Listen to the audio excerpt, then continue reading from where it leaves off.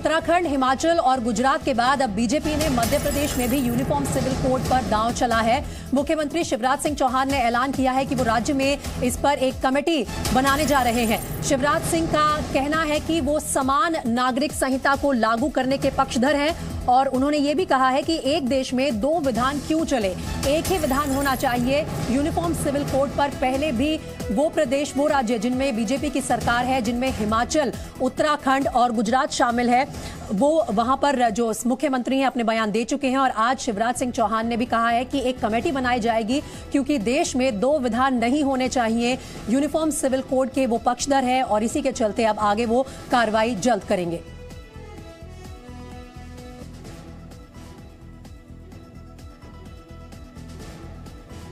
मध्य प्रदेश सरकार का uniform civil code पर यह बड़ा दाव है। सीएम शिवराज सिंह चौहान ने यह ऐलान किया है कि यूसीसी के लिए एक कमेटी बनाने वो जा रहे हैं। और बीजेपी का भी यही मानना है। बीजेपी के मुख्यमंत्री शिवराज सिंह चौहान ने भी यही कहा है कि एक देश, एक विधान ही होना चाहिए। वहीं कांग्रेस जो है, वो मुद्दों से ध्यान कांग्रेस कह रही है कि दरअसल बीजेपी मुद्दों से ध्यान भटकाने की कोशिश के लिए यूनिफॉर्म सिविल कोड पर ऐसे बयान लगातार दे रही है।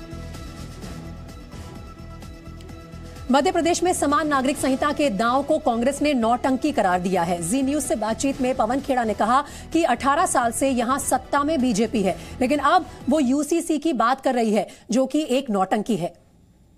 अब इन्फॉर्म सिविल कोड की बात पहले हिमाचल में की उत्तराखंड के की गुजरात में की अब मध्य प्रदेश में भी यूनिफॉर्म सिविल कोड लागू होगा। ऐसा वादा किया रहा जा रहा है दावा किया जा रहा है बीजेपी अठारह उन्नीस साल से मध्य प्रदेश में सरकार में क्यों नहीं किया था? सत्ताईस साल से यहाँ सरकार में क्यों नहीं किया था? और 2018 में इनकी अपनी लॉ कमीशन ने खुद रिजेक्ट कर दिया था। पहले तो ये सब बातें करें ये सब नौटंकी करने से कोई चुनाव नहीं जीता जाता। मध्य प्रदेश में आगामी विधानसभा चुनाव से पहले मुख्यमंत्री शिवराज सिंह चौहान चुनावी मूड में आ चुके हैं। उन्होंने देश में समान नागरिक संहिता लागू करने की मांग की और एमपी में समान नागरिक संहिता लागू करने के लिए कमेटी बनाने का ऐलान किया। मध्य प्रदेश में भी मैं कमेटी बना रहा हूँ। समान नागरिक संहिता एक पत्नी रखने का अधिकार है तो एक ही पत्नी सबके लिए होनी चाहिए, फिर ज़्यादा क्यों होना चाहिए? समान नागरिक संहिता पर मध्य प्रदेश के मुख्यमंत्री शिवराज सिंह चौहान का ये ऐलान है। बड़वानी के सिंधवा में गुरुवार को एक सभा के दौरान उन्होंने एमपी में समान नागरिक संहिता लागू करने के लिए कमेटी बनाने की घोषणा की और पूरे देश में समान नागरिक संहिता लागू करने की मांग की। इस दौरान शिवराज सिंह ने मज़हब की आड़ में धर्मांतरण और लव जिहाद का मुद्दा भी उठाया। खुद ज़मीन नहीं ले सकते तो कोई आदिवासी के नाम से ज़मीन ले ली। और कई बदमाश ऐसे भी आ गए, जो किसी आदिवासी बेटी से शादी कर लेते और शादी करके उसके नाम से ज़मीन ले लेते।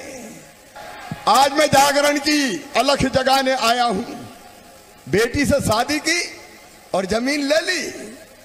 मैं तो इस बात का पक्षीदार हूँ कि भारत में अब समय आ गया है कि एक समान नागरिक संहिता लागू होनी चाहिए। एक से ज़्यादा शादी क्यों करे कोई? एक देश में दो विधान क्यों चलेगी? एक ही होना चाहिए। शिवराज सिंह चौहान के ऐलान को कांग्रेस 2023 में होने वाले एमपी विधानसभा चुनाव के लिए दांव के रूप में देख रही है। कांग्रेस नेता प्रताप भानु शर्मा ने समान नागरिक संहिता का विरोध किया और कहा कि बीजेपी सिर्फ़ अहम मुद्दों से जनता का ध्यान भटकाने के लिए समान नागरिक संहिता लागू करने की बात कर रही है। शिवराज सिंह जी को दो हज़ार तेईस का चुनाव नज़र आ रहा है। जनता की भलाई की योजनाओं पर कोई ध्यान नहीं है उनका। महँगाई पर कोई ध्यान नहीं है।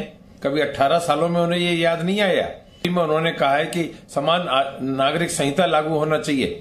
तो मैं पूछना चाहता हूँ, कौन सी समान नागरिक संहिता की बात कर रहे हैं? ये एक राष्ट्रीय विषय है और ये संविधान के हिसाब से देश चलता है। क्या आज समानता नहीं है? क्या समान नागरिक अधिकार सबको प्राप्त नहीं है?